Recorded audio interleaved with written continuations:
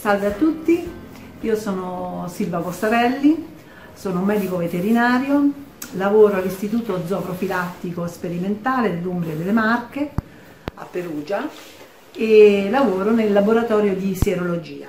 cioè il laboratorio eh, che permette di fare diagnosi in diretta di una serie di eh, malattie degli animali eh, andando a svelare la presenza degli anticorpi eh, nel loro sangue.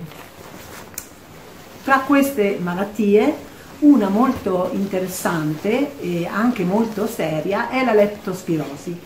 che è una malattia che può colpire gli animali e anche l'uomo.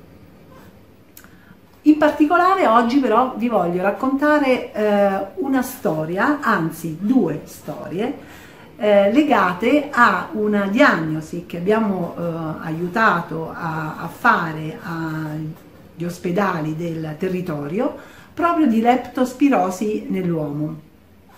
Sono due episodi che si sono verificati in due tempi diversi, anzi direi in due estati diverse,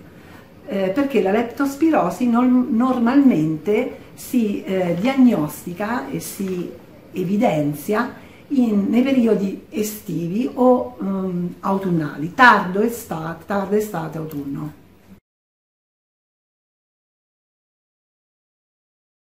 Il primo episodio eh, riguarda un ragazzo di 27-28 anni che si è presentato all'ospedale di Terni eh, dopo aver avuto per eh, 4-5 giorni eh, febbre, eh, dolori muscolari, dolori articolari che aveva cercato di ehm, risolvere con una terapia a base di tachipirina. Eh, inizialmente sembrava che la terapia funzionasse, poi invece la febbre eh, è aumentata e è comparso l'ittero, quindi questa colorazione giallastra della cute e soprattutto della sclera dell'occhio. Quindi è andato al pronto soccorso e eh, al pronto soccorso hanno immediatamente sospettato che poteva trattarsi di eh, leptospirosi perché eh, il ragazzo ha eh, raccontato eh, la sua storia nelle settimane precedenti. Ha raccontato che almeno 15-20 giorni prima era mm, stato in campagna e aveva collaborato, eh, aiutato un suo amico a pulire dei locali di un casale, eh, ovviamente vestito in modo molto estivo, quindi con ciabattine, con eh, pantaloncini corti, canottiera, ma pulendo questi, eh, questi locali, queste stanze, mh, mm, avevano notato eh, numerosi escrementi di topo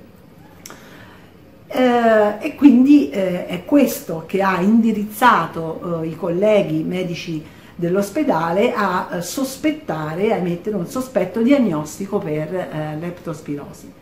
In effetti eh, quando ci hanno mandato il siero, il, il, test ehm, sierologico che effettuiamo regolarmente per la diagnosi di leptospirosi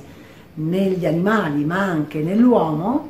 la MAT, il cosiddetto test di microagglutinazione, ha dato esito positivo per questo ragazzo anche con dei titoli anticorpali molto elevati. Cosa vuol dire? Vuol dire che eh, la concentrazione di anticorpi era molto alta. Significa che probabilmente erano passati diversi giorni, almeno più di 10-12 giorni, dall'inizio dell'infezione, quindi questo ragazzo aveva appunto cominciato a produrre eh, anticorpi. Parlando poi con il medico che aveva emesso il sospetto diagnostico, abbiamo avuto una ulteriore informazione. L'informazione eh, era questa, che questo ragazzo eh, faceva, usava, amava fare spesso i bagni nel, nel fiume e eh, il fiume è un elemento di rischio, il bagno in un fiume, soprattutto in un periodo estivo in cui le acque si fermano e in cui se in quel fiume ci sono nutrie o ratti o topi, che liberano ed eliminano le leptospire con le loro urine nelle acque del fiume, le acque ferme, temperatura ideale, condizione ideale per la leptospira di resistere in quell'ambiente. E quindi questo è stato un ulteriore elemento eh, diciamo, di, di, rischio che ha eh, un, un, ulteriore comportamento di rischio di questo giovane che non solo aveva appunto collaborato, contribuito a pulire questi locali, ma aveva anche fatto il bagno in un fiume in un momento in cui forse le condizioni non erano migliori, le migliori. Il ragazzo è stato, eh, dopo la diagnosi, eh, di certezza, è stato sottoposto a adeguata terapia antibiotica eh, che nel giro di pochi giorni ha comportato la remissione dei sintomi, la sua guarigione e quindi la, ehm, è stato dimesso dal, dall'ospedale.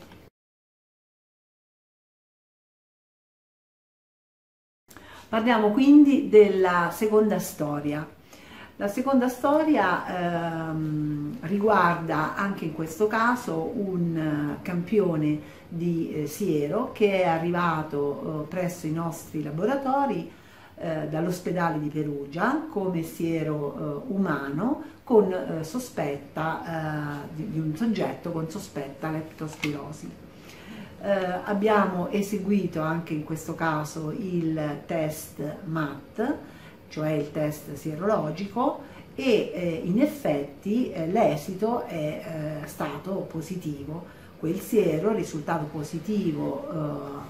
ha la leptospira ballum con titoli molto alti, quindi con una concentrazione anticorpale anche in questo caso molto elevata. Quindi ho contattato immediatamente il medico eh, dell'ospedale di Perugia che aveva inviato il campione e eh, il medico eh, mi ha eh, detto che eh, la, la, diagnosi, il sospetto diagnostico risaliva da parte loro a circa 15-20 giorni prima, avevano mandato un primo campione di siero presso i nostri laboratori che era risultato negativo e quindi a distanza di 15-20 giorni avevano effettuato questo secondo invio, proprio perché fortemente convinti che si trattasse di una leptospirosi, eh, ma eh,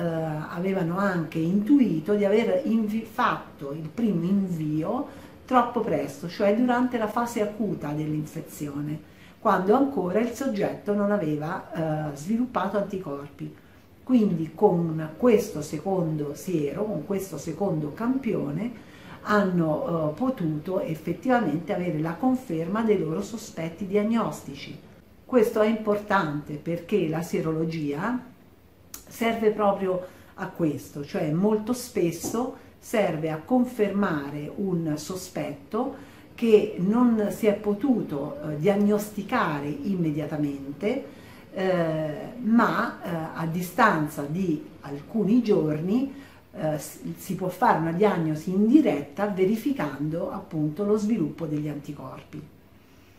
In questo caso il medico eh, mi ha eh, raccontato di aver saputo dall'anamnesi del paziente che aveva frequentato le acque di un fiume eh, da canoista, cioè era un appassionato, un ragazzo appassionato di, eh, di canoa e eh, probabilmente, anche se di questo non eh, ne avremo mai la certezza, però eh, era stato l'unico comportamento a rischio eh, che avrebbe potuto appunto determinare l'infezione da leptospira in questo soggetto.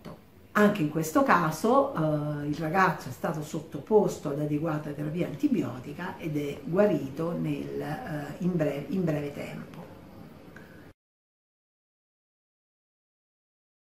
Eh, l'ultimo caso di cui vi voglio parlare eh, riguarda sempre un, un uomo eh, ricoverato presso l'ospedale di Pesaro,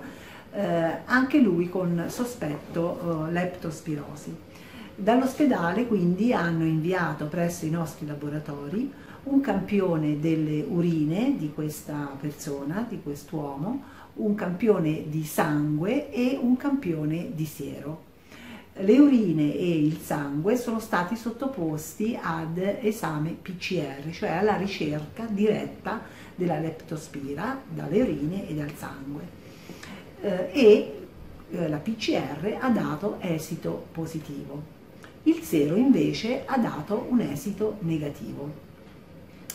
Eh, emessa comunque la diagnosi, a distanza di 15 giorni dallo stesso ospedale eh, ci hanno fatto eh, pervenire il secondo campione di siero dello stesso soggetto e questa volta è risultato positivo ad un titolo di 1 a 800, quindi anche in questo caso un titolo molto elevato, per leptospira icteremorragie.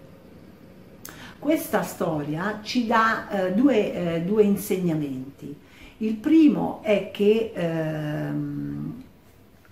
eh, l'esame sierologico si conferma come eh, un esame importante per fare una diagnosi non nella fase acuta dell'infezione, in cui invece è più performante sicuramente la PCR, perché le leptospire sono ancora in circolo nel sangue o nelle urine, e invece il sierologico è utile proprio nella fase cronica, quando sono passati ormai 10-12 giorni e quindi il, il, il soggetto ha cominciato a produrre anticorpi. Il secondo, eh, il secondo insegnamento è che eh, la eh, serologia ci ha permesso anche di dare un nome e un cognome a questa leptospira, cioè eh, abbiamo potuto eh, capire che l'infezione era sostenuta da una leptospira interrogans icteroemorragie, eh, mentre con la PCR ci eravamo fermati a leptospira punto. È importante sapere quali sono le eh, serovar che vengono coinvolte nelle infezioni eh, da leptospirosi sia negli uomini che eh, negli animali perché abbiamo una, um, una eh, cognizione a quel punto epidemiologica territoriale più precisa che ci permette anche di eh, fare degli interventi di profilassi adeguati alla situazione.